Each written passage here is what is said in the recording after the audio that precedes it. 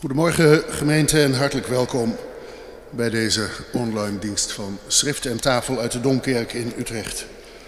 Op deze zondag kantate, de vijfde zondag van Pasen. Voorganger is dominee Willem Roskam. Voordat we de dienst beginnen heb ik een belangrijke mededeling voor u. In de afgelopen periode was het voor u niet mogelijk de diensten fysiek te bezoeken. Op meerdere momenten heeft de kerkenraad zorgvuldig beraadslaagd over de vraag wanneer bezoek wel weer mogelijk zou zijn. Tot op heden zijn wij erin om redenen van veiligheid en solidariteit terughoudend geweest. Maar op grond van de laatste maatregelen van de regering heeft de kerkenraad kunnen besluiten dat meebewegen met de beperkte versoepeling verantwoord is. De Domkerk is een veilige plaats Natuurlijk op voorwaarde dat iedereen zich houdt aan de geldende veiligheidsvoorschriften. Dat betekent dat er vanaf volgende week zondag, 9 mei dus, weer maximaal 30 bezoekers bij de kerkdiensten aanwezig kunnen zijn. Reserveren is noodzakelijk. Daarover volgt deze week nader bericht. Nieuw is daarbij in ieder geval dat het niet meer mogelijk is om te reserveren voor twee achtereenvolgende zondagochtenddiensten. Wij willen zoveel mogelijk mensen in de gelegenheid stellen om een kerkdienst fysiek bij te wonen. Bezoekers zijn ook weer welkom bij de Vespers op zondagavond en woensdagavond. Dat geldt reeds vanaf vanavond en u hoeft voor de Vespers van vanavond dus niet te reserveren. Ook hier geldt een maximum aantal bezoekers van 30 omdat de orde van dienst gemaakt werd voordat dit kerkenraadsbesluit genomen is, kloppen de gegevens die u daarin vindt over het kerkbezoek dus niet meer. Wel blijven de zondagochtenddiensten in geluid en beeld te volgen via YouTube en kerkomroep en de vespers zijn te beluisteren via kerkomroep. Op deze wijze kan iedereen op afstand blijven meevieren Bijvoorbeeld als u nog wacht met kerkbezoek totdat u gevaccineerd bent. Tot zover deze mededeling. We beginnen nu met een moment van stilte en daarna zingen de kantoren het intredelied. Psalm 98 uit het liedboek. Met daaromheen een antifoon die u kunt vinden onder nummer 640d. Psalm 98 en 640d. Ik wens ons en u allen, waar u zich ook mogen bevinden, een gezegende dienst.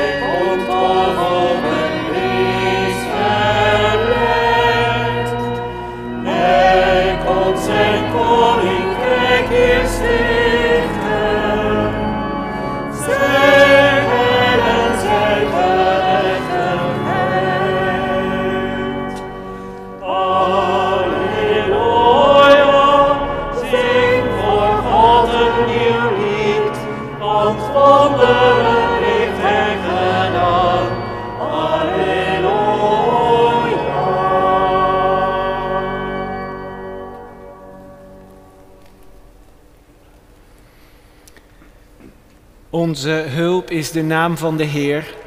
Die hemel en aarde gemaakt heeft. Wij bidden nu, God, bij dit licht van Pasen, om het licht en het vuur dat Jezus in ons midden heeft ontstoken. Wij bidden om licht voor de wijde wereld en voor de plaats en de huizen waar wij wonen. Ja, wij bidden om licht het licht van Christus die in heerlijkheid is opgestaan. Doe in ons het verlangen ontbranden om met een waakzaam hart en open ogen dit feest van zijn opstanding te vieren. Amen.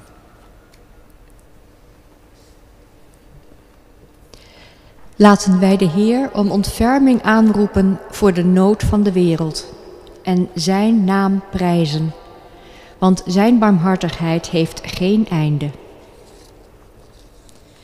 Vanwege mensen in ademnood, vanwege mensen die verdrinken op zee, vanwege mensen voor wie geen ruimte is, vanwege mensen die snakken naar vrijheid, roepen wij.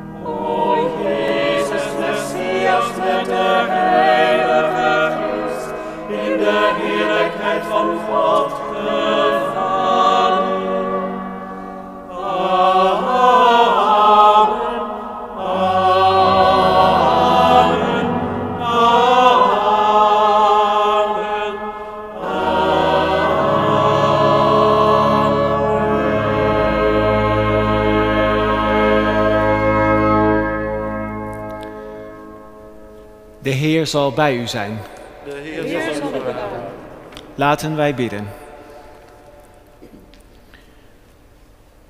Omdat het beter is te schuilen bij u dan te vertrouwen op eigen kracht, komen wij tot u, God.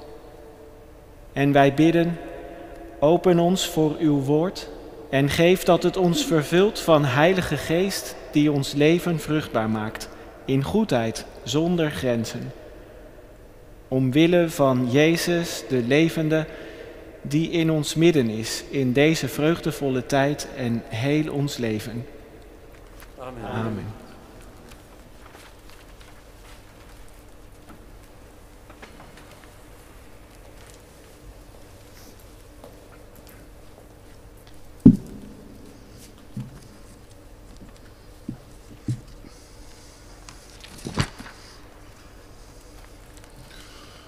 Lezing uit de Torah, Deuteronomium 4. Ga de hele geschiedenis maar eens na. Vanaf de dag dat God de mens op aarde schiep. En doorkruis de hele wereld, van het uiterste oosten tot het uiterste westen. Is zoiets geweldigs ooit voorgekomen?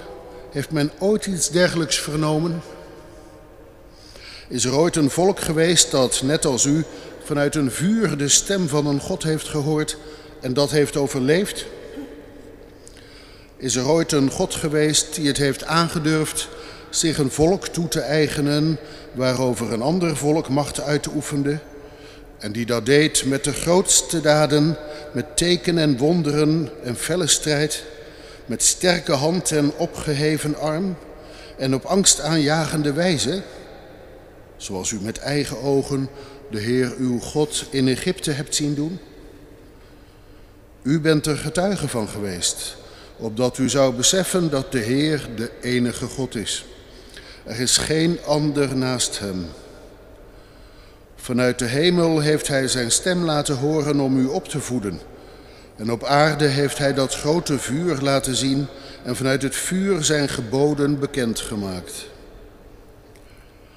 De Heer heeft uw voorouders lief gehad en hun nageslacht uitgekozen. En hij zelf heeft u met zijn grote macht uit Egypte bevrijd en ter wille van u volken verdreven die groter en machtiger waren dan u, om u hun land binnen te leiden en het u in eigendom te geven, zoals dat nu gebeurt. Wees u er daarom van bewust en laat goed tot u doordringen dat de Heer de enige God is, boven in de hemel en hier beneden op een aarde. Een ander is er niet. Houdt u altijd aan zijn wetten en geboden zoals ik ze u vandaag geef. Dan zal het u en uw kinderen goed gaan en u zult lang mogen leven in het land dat de Heer uw God u geven zal.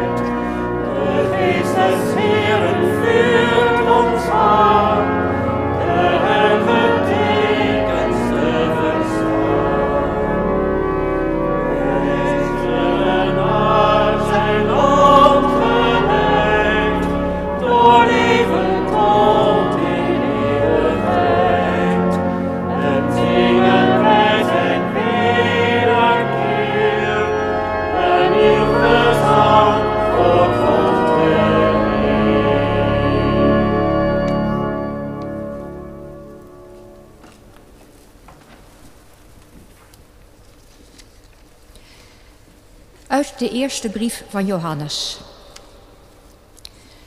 Wat liefde is, hebben wij geleerd van Hem die zijn leven voor ons gegeven heeft.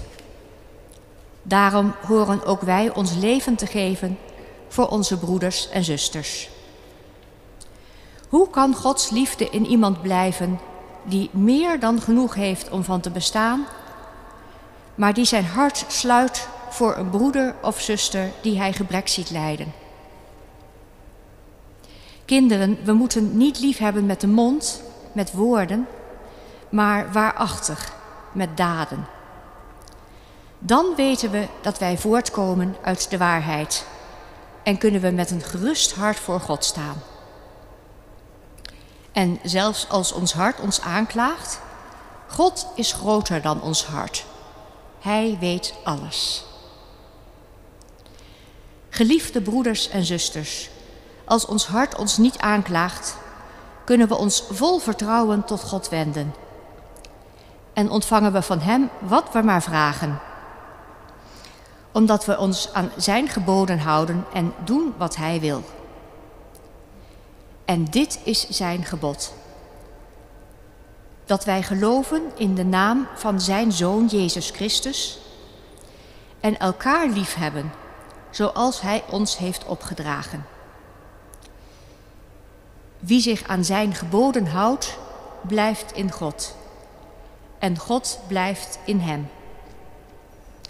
Dat Hij in ons blijft, weten wij door de geest die Hij ons heeft gegeven.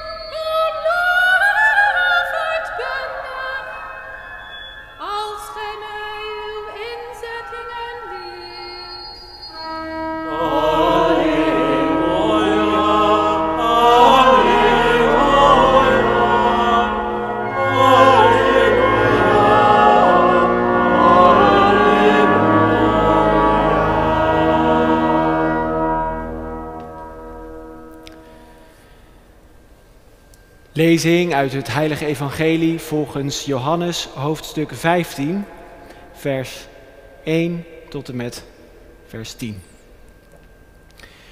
Ik ben de ware wijnstok en mijn vader is de wijnbouwer.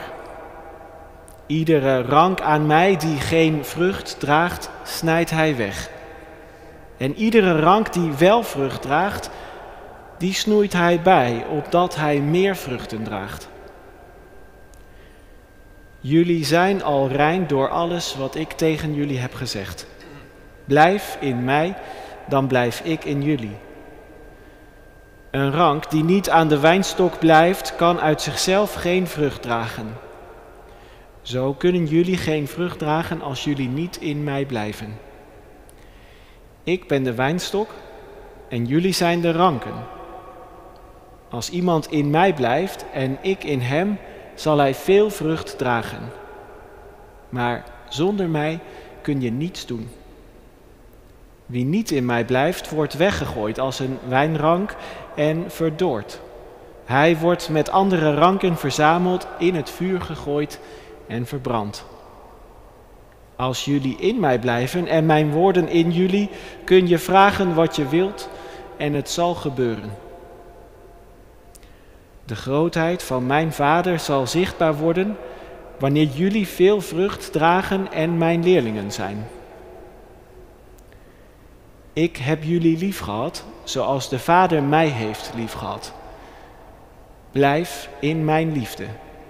Je blijft in mijn liefde als je je aan mijn geboden houdt, zoals ik me ook aan de geboden van mijn Vader gehouden heb en in zijn liefde blijf.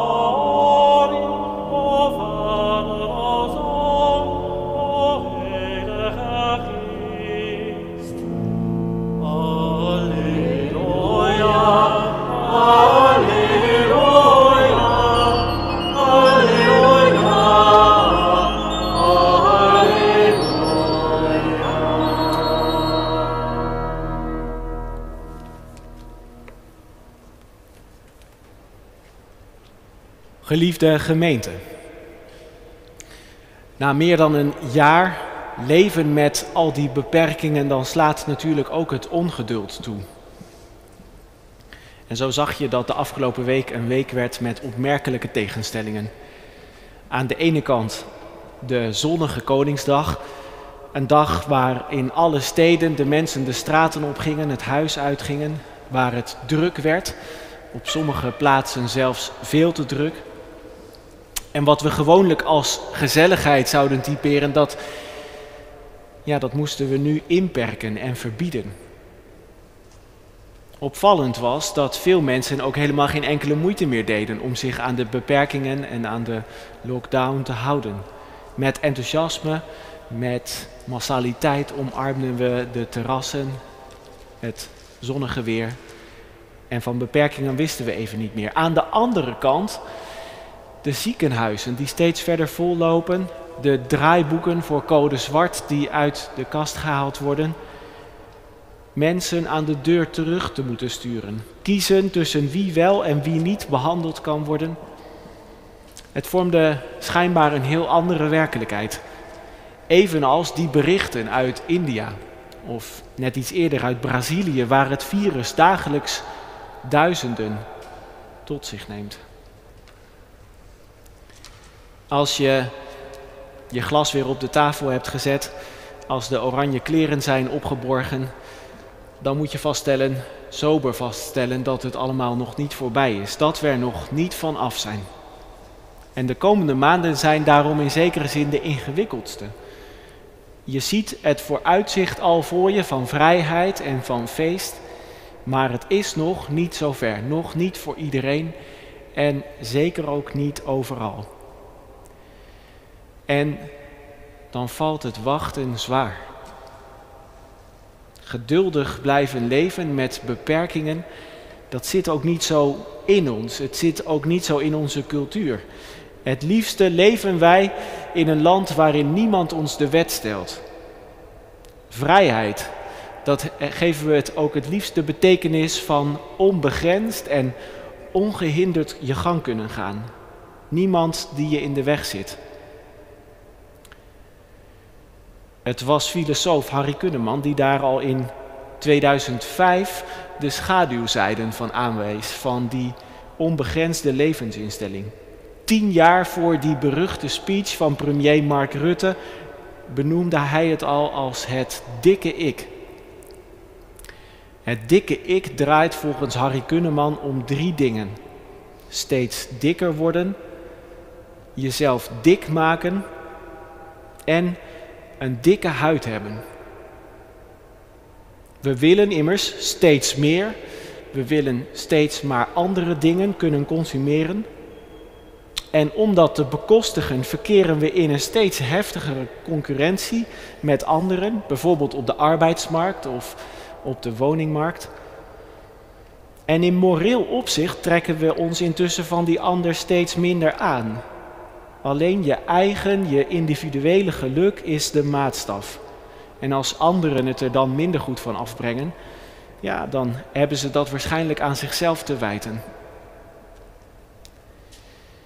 Harry Kunneman uit een ongemakkelijke kritiek op hoe wij in het leven staan, hoe we soms ook met elkaar omgaan.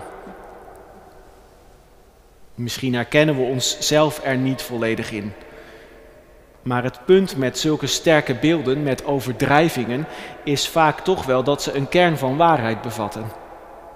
We zullen het minstens wel ergens anders om ons heen kunnen aanwijzen, waar het op deze wijze ontspoort. De kerk is er in elk geval niet immuun voor.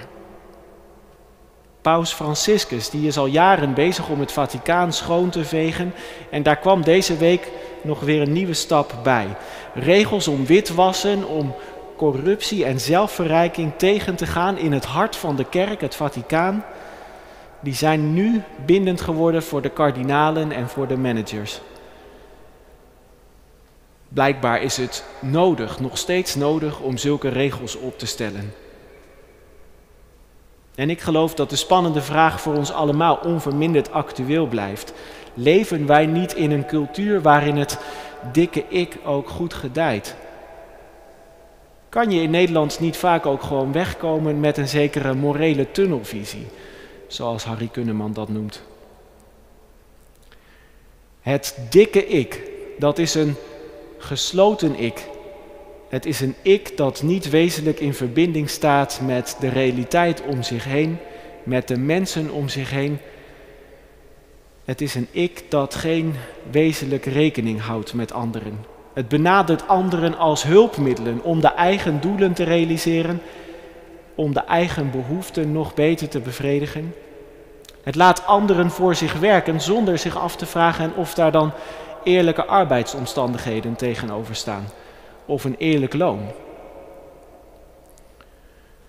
Het dikke ik is in die zin, in die omvattende zin, ook een beeld voor het huidige Westen. Voor Nederland als deel van de rijke wereld, de rijkste landen van de wereld. Wij permitteren ons dagelijks een mate van welvaart, van volksgezondheid ook, die alleen maar valt vol te houden doordat het elders zoveel minder is. Doordat we anderen minder toestaan. Goedkope consumptie hier, dat kan alleen maar door goedkope productie daar. En daar zijn ook in onze wereld nog altijd veel mensen mee gemoeid. Kan dat ook anders? Hoe zou de wereld eruit zien als dat dikke ik niet zo ongebreideld de dienst zou uitmaken? Jezus doet in het evangelie volgens Johannes een aantal uitspraken over zijn ik. Het zijn belangrijke momenten in het evangelie die vaak ook aan een wonderlijke gebeurtenis zijn verbonden. Ik ben het brood dat leven geeft, zegt Jezus. En als om die identiteit meteen tastbaar te maken voor de mensen, delen de mensen in een overvloed aan brood veel meer dan ze kunnen opkrijgen. Daar is sprake van consumptie, meer dan genoeg voor iedereen, maar belangrijker nog, er is ook sprake van een wezenlijke verzadiging. Die honger naar meer, die wordt door Jezus gestild.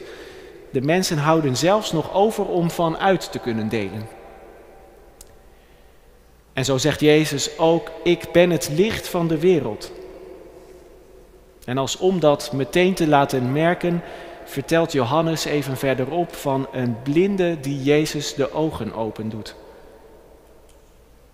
En Jezus zegt in dat evangeliegedeelte van vandaag, ik ben de ware wijnstok. En dus moet ons oog ook wel uitgaan naar dat fundamentele wonderteken dat met wijn verbonden is. In Cana moeten we zijn, waar de wijn vloeit op de bruiloft, zelfs nog ruimschoots voordat Jezus zich hier bekend maakt als de wijnstok. En zo gaat het ook eigenlijk vaak. Het teken gaat vooraf aan de woorden. De ervaring van Gods goedheid, die gaat ook zo vaak vooraf aan de woorden van geloof. Wij zien in deze momenten van Jezus ik-openbaring hoe Hij overvloed teweeg brengt. Hoe Hij mensen vervult, hoe Hij ze tot nieuw leven brengt. Jezus ik dat bestaat niet uit het vermeerderen van zichzelf, maar uit het levendig maken van anderen, van zijn leerlingen. In de woorden over de wijnstok is dat relationele karakter van Jezus' identiteit meteen ook helemaal duidelijk. Ik ben, dat staat in directe verhouding tot wie de Vader is. Ik ben de ware wijnstok, de Vader is de wijnbouwer. En het staat ook in directe relatie tot de leerlingen, wie zij zijn. Ik ben de wijnstok, jullie zijn de wijnranken. En de wijnranken kunnen niet zonder de wijnstok. Jezus, ik, is niet in zichzelf opgesloten, maar het is een wezenlijk verbonden identiteit. Het is een identiteit, een mens zijn dat leven in overvloed geeft. wijnranken. Dat beeld gebruikt Jezus dus voor zijn leerlingen. Jullie zijn geen geïsoleerde individuen, niet langer meer, maar jullie zijn wezenlijk verbonden met mij en met mijn liefde. Dat woord blijven of één blijven, dat heeft een bijzonder sterke plek in dit evangeliegedeelte. Het wordt veel herhaald. Blijf je één met mij, dan draag je overvloedig vrucht. Raak je los van mij en van mijn geboden, dan verspeel je dat beloftevolle leven. Als de wijnrank één en verbonden is met de wijnstok, dan hebben die wijnranken ook voeding en stevigheid. Dan kunnen ze groeien, dan kunnen ze vrucht voortbrengen. Ik heb jarenlang druivenplanten in de tuin gehad en ik heb me steeds verbaasd over hun groeikracht. Ieder jaar weer kan één wijnstok een overweldigende hoeveelheid druiven voortbrengen. Zoveel zelfs dat je wel gedwongen wordt om het uit te delen. Maar er was ook nog iets anders dat me opviel. Wijnranken kennen die adembenemende kracht om te groeien, maar ze moeten ook heel goed worden gesnoeid. Ze hebben de neiging om elkaar nog wel eens in de weg te gaan zitten. Zich aan elkaar vast te grijpen op een vervelende manier. En zo maken ze de groei van de ander ook nog wel eens onmogelijk. Er is bij wijnranken sprake van een ongerichte groei. Die kan in weinig tijd ook volkomen verwilderen. Egoïstische trekjes aannemen om even met Jezus menselijke taal te blijven spreken. De oogst wordt er minder van, de druiven verliezen aan kwaliteit, het mens zijn boet erbij in. Ik denk niet eens zo ver van huis aan een ongeremde en volledig op het eigen ik gerichte spiritualiteit. Als zingeving alleen nog maar draait om het verheffen van je eigen ik, een boost geven aan je eigen ego, dan lijkt die groei misschien wel indrukwekkend, maar de vruchten zijn toch zuur. Jezus wijst dus op de noodzaak van een wijnbouwer die richting aanbrengt in onze groei. Onze liefde moet geordend worden. Zo wist kerkvader Augustinus het al. Er moet orde worden aangebracht in die veelheid van verlangens, al die dingen die ons hart zo al heeft. En die orde van de liefde in ons, die hangt direct samen met de liefde voor onze naaste. Die liefde voor onze naaste is toetsteen voor onze liefde tot God en voor onze verbondenheid met Gods liefde. Ik ben de ware wijnstok, zegt Jezus. En daarmee verwoordt hij een identiteit die gericht is op overvloed en blijvende verbinding in de liefde. Het is duidelijk dat Jezus niet wil dat zijn ik op zichzelf blijft staan. Dat moet zich gaan uitbreiden, gaan verder leven in het leven van zijn leerlingen, in de kerk en ik geloof dat iemand als Paus Franciscus je laat zien hoe je leeft zonder zo'n dikke ik-mentaliteit, maar wel met een heel krachtige persoonlijkheid.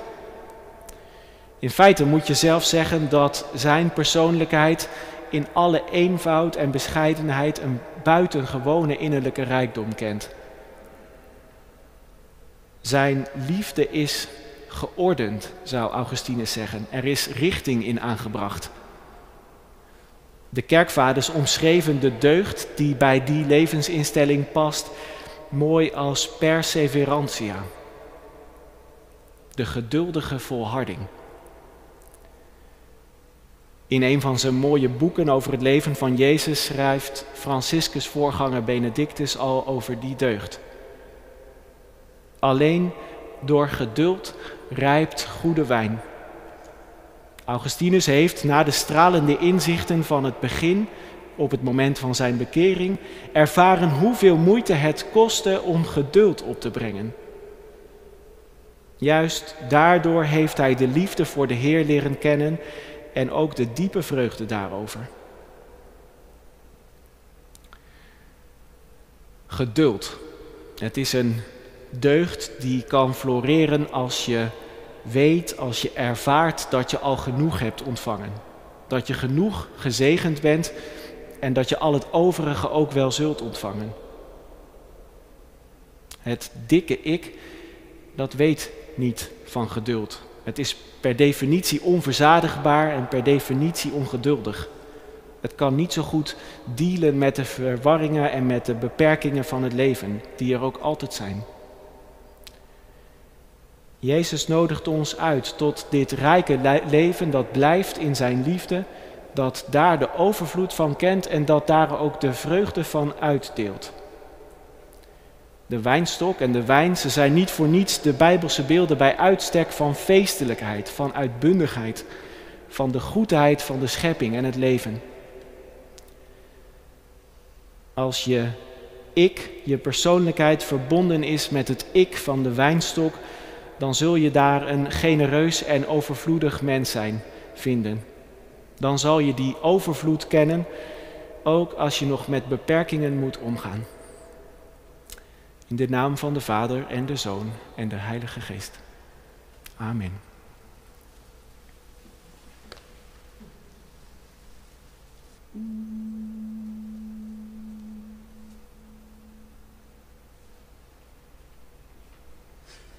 Cantate Domino cantico cantate, cantate, cantate, benedicite nomine Remus, cantate Domino cantico cantate, cantate, cantate, benedicite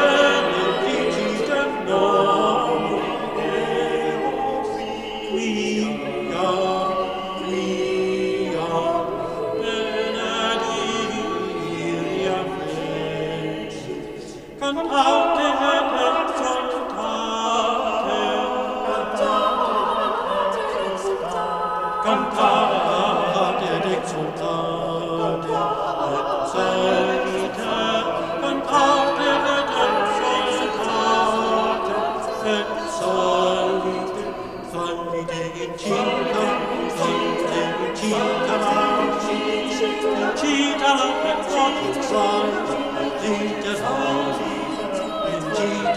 Gita, Gita,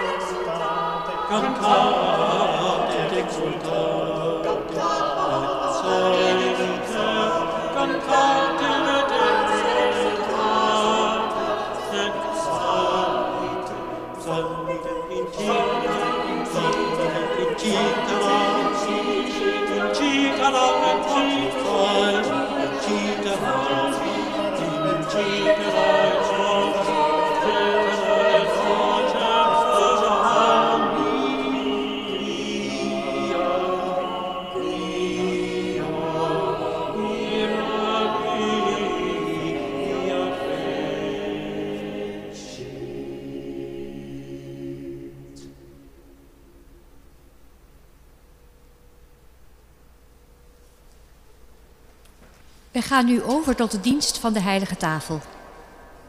Aangesproken door het woord van God dragen wij onze gaven naar de tafel waar de Heer ons wil ontvangen. Wij breken het brood met degenen die hier aanwezig kunnen zijn. Degenen die thuis met ons meevieren, nodig ik uit om dat te doen met het gebed om de geestelijke communie in de orde van dienst. De eerste collecte is voor de diaconie. Met die bijdragen kunnen de diakenen namens ons allen hulp geven waar die nodig is. Dichtbij of veraf, snel en praktisch. De tweede collecte is voor de kosten van onze domkerkgemeente. Normaliter komt een groot deel van het geld voor het onderhoud van onze mooie domkerk uit de inkomsten van de open dom en uit de verhuur. Maar die inkomsten zijn, zoals u natuurlijk weet, voor een groot deel weggevallen. De situatie is voorlopig nog niet normaal en het gat in de begroting is nog niet gedicht. Uw bijdrage aan deze collecte helpt om dat gat te vullen. U kunt uw bijdrage overmaken naar de rekeningnummers op de orde van dienst. De bloemen gaan vandaag naar Herma Timmerarens met gelukwensen en naar Antje Dijkstra als teken van verbondenheid.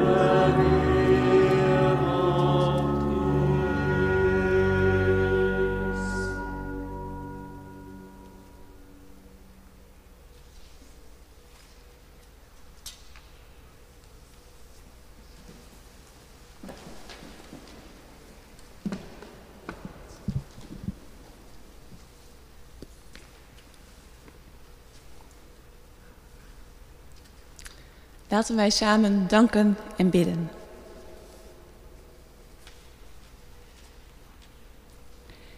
Heer onze God, we danken u voor de belofte van uw nabijheid. Voor de uitnodiging om te delen in uw overvloed. We danken u voor de diepe vervulling die u wilt geven.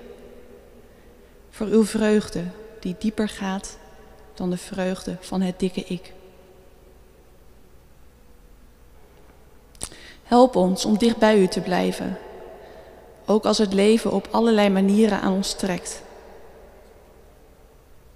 Help ons om uw aanwezigheid steeds weer op te zoeken.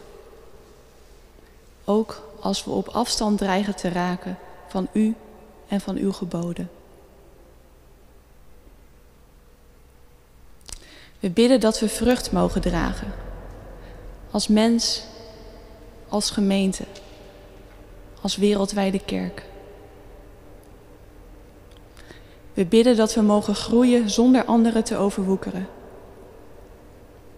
Dat we onze liefde en onze verlangens zullen laten ordenen door uw woord en door uw aanwezigheid.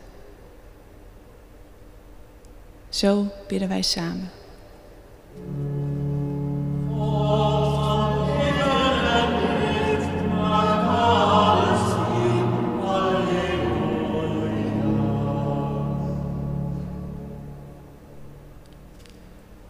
Goede Vader,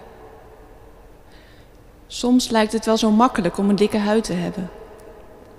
Om het verdriet, de armoede en de kwetsbaarheid van andere mensen niet te veel te laten binnenkomen.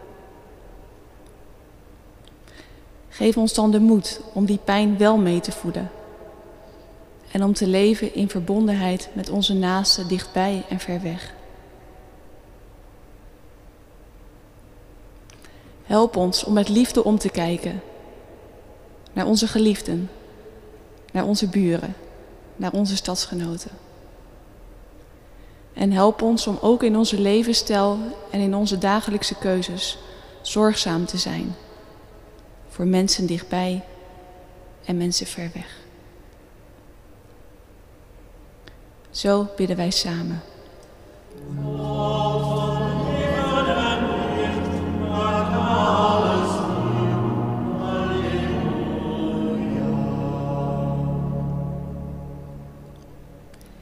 Heer onze God, we bidden ook deze zondag voor iedereen die lijdt onder de huidige pandemie. Voor het zorgpersoneel dat op zijn tandvlees loopt. Voor kinderen die lijden onder geweld in huis. Voor ondernemers die niet weten of ze het zullen redden. We bidden voor thuiswerkers die tegen de muren oplopen. Voor mensen die zich nu al zo lang eenzaam voelen. Voor mensen die maanden na hun ziekte nog worstelen met de gevolgen. We bidden voor de situatie in India en in andere zwaar getroffen landen. Voor wie vecht voor zijn eigen leven of voor dat van een geliefde. Voor wie leeft in angst en s'nachts wakker ligt van de zorgen. Ontferm u over uw wereld en geef nieuwe kracht, nieuwe hoop, nieuwe toekomst. Zo bidden wij samen.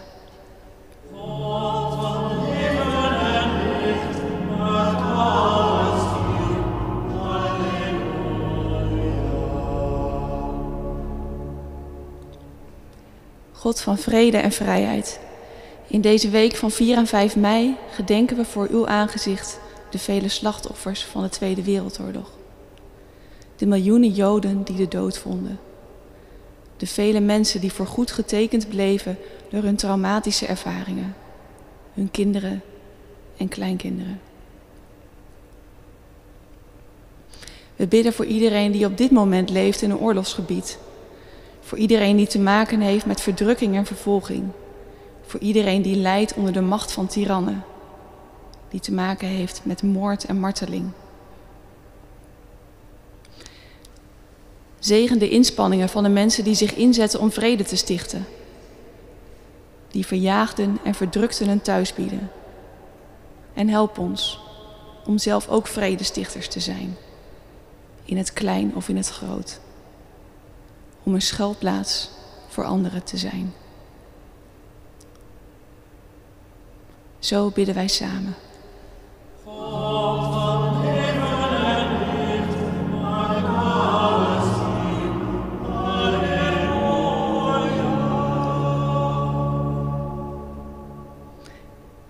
God onze Vader, hoor ons nu als wij in stilte bij U neerleggen wat ons bezighoudt.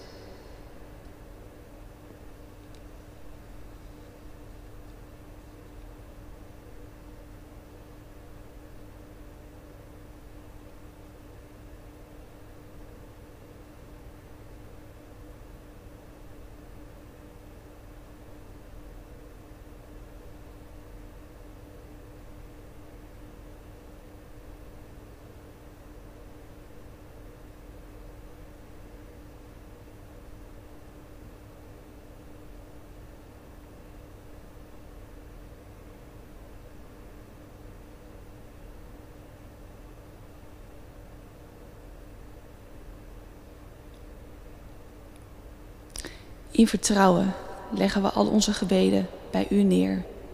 In Jezus' naam. Amen.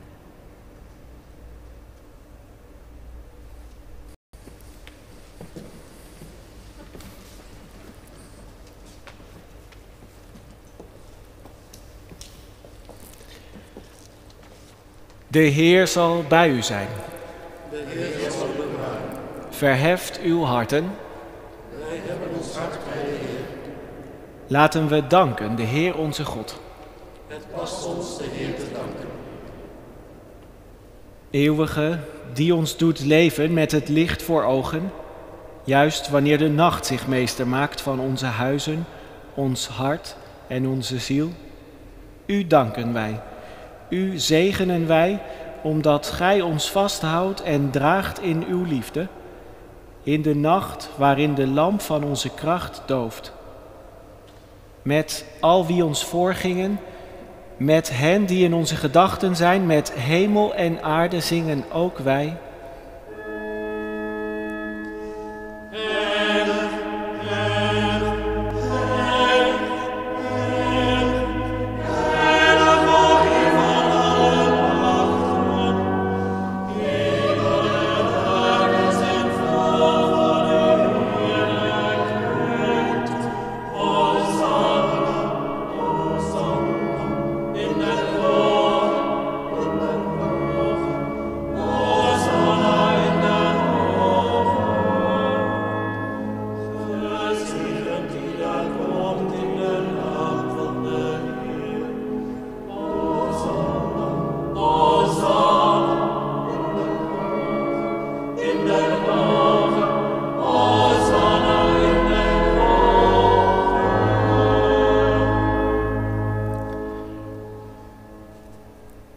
Gezegend zijt gij om de zoon van uw liefde, hij onze geboorte, hij de nieuwe dag, hij die op de avond waarop hij werd overgeleverd het brood nam.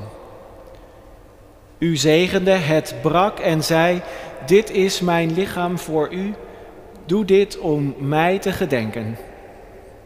Amen. Evenzo na de maaltijd de beker nam, de dankzegging daarover uitsprak en zei: Deze beker is het nieuwe verbond in mijn bloed, dat voor u en voor allen vergoten wordt tot vergeving van zonden. Doe dit, zo dikwijls gij die drinkt, om mij te gedenken.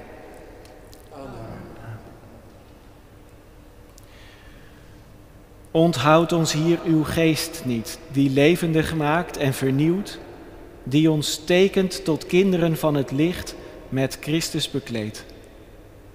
Laat uw adem ons weerbaar maken tegen alles wat uw schepping omkeert, in chaos en duister, tegen ieder die mensen de nacht aandoet.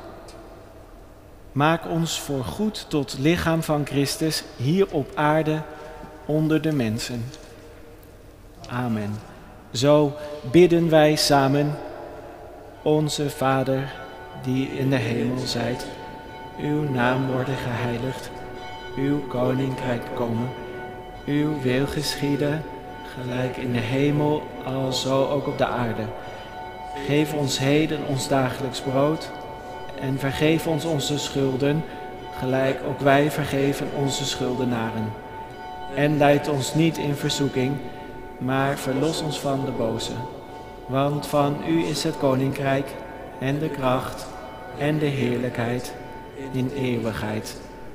Amen.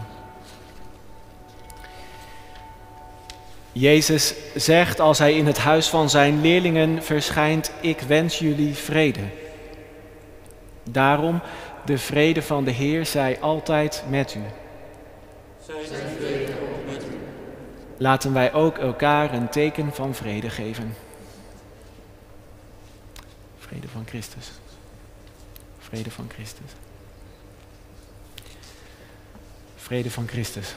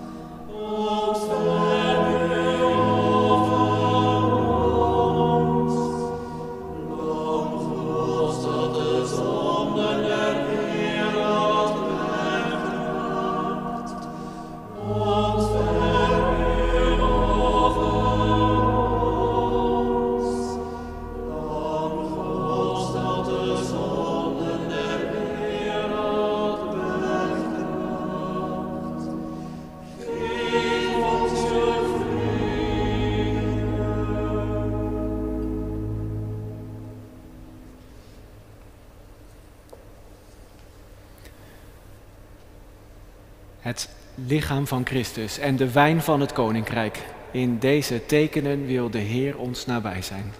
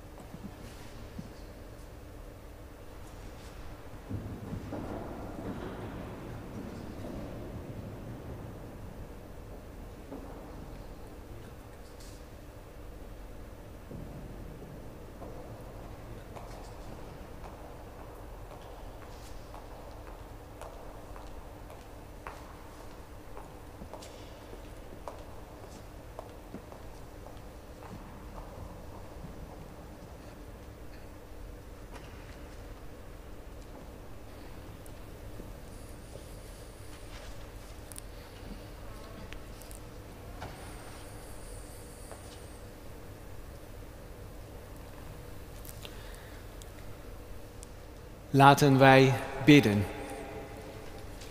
Gij die groter zijt dan ons hart en ons bij name kent. Wij danken u voor de wijnstok die gij onder ons geplant hebt, Jezus de levende. Geef dat wij allen verbonden blijven met Hem en vruchten voortbrengen van gerechtigheid en liefde, opdat de wereld gelukkig wordt in deze vreugdevolle tijd en heel ons leven. Amen.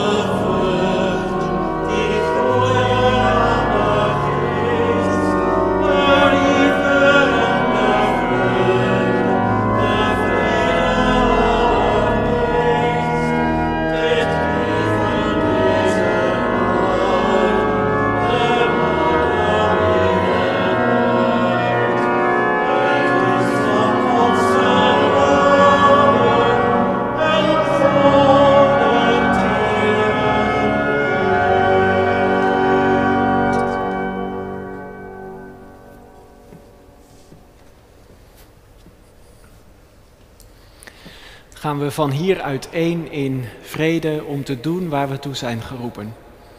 Gedragen door de zegen van de Allerhoogste God. De genade van onze Heer Jezus Christus en de liefde van God en de gemeenschap en de vruchten van de Heilige Geest is met u en met jou.